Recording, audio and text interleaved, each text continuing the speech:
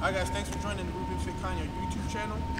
Today I have a core exercise for you guys where really you want to maximize your time to weight room, breaking on some shoulders and some arms while stabilizing the core on the Swiss ball. Okay, so we're really doing shoulder presses on the Swiss ball. All right, I would consider consider this an advanced workout just because you really have to be able to hold your position here. So being nice and careful, practice this with lower weight at first. Okay, so how I set up first, I would set up my knees on the Swiss ball. Alright? What I do is I build a nice nice foundation first on the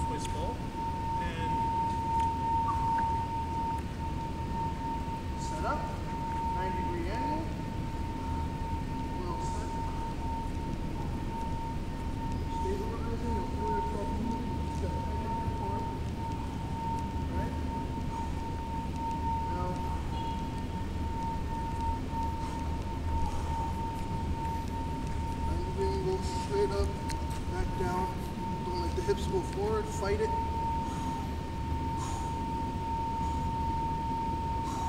As you finish the workout, alright?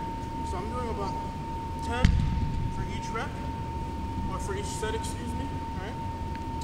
Very controlled, making sure that the butt doesn't drop and sink in, but it's straight up, pushing through the Swiss ball, breaking on the entire core, keeping everything tight and in line. All right, guys, continue to dream right, expand, and make intentions nurture both.